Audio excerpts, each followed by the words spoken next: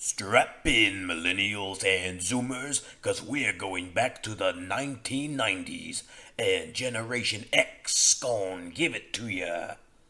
Ah, shit, that was a 2000s reference, wasn't it? Well, starting right now, we're all about the naughty 90s. No, damn it, the 1990s. Okay, starting now, only 90s references tonight because we're gonna be chillin' with our nugs, wheezing the juice, and grabbing some gnarly grindage. That's 90s talk for having a good time with your pals. It's mostly gibberish, I believe. In the 90s, it was more important to talk like a cool dude than to be clearly understood. You say, no problemo. And if someone comes up to you with an attitude, you say, eat me. And if you want to shine them on, it's hasta la vista, baby.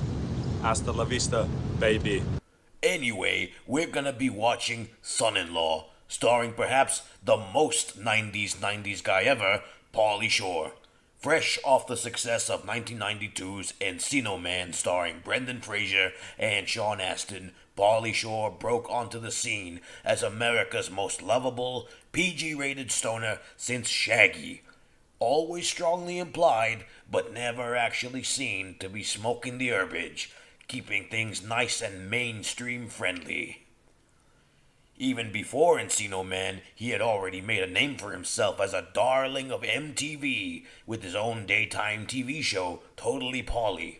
Here he is interviewing a young Bruno Mars. How you guys doing today? Nice to see you. My next guest on my show is Bruno. Yay! Bruno, um, it says right here, you're the world's youngest Elvis impersonator. Can you show us some moves? What about the lip? Do the lip thing. Son in Law marks the first time Pauly Shore took the lead role in a film, starring as Crawl, the secretly brilliant slacker with a heart of gold, and firmly established himself as a marketable star for teenage comedies.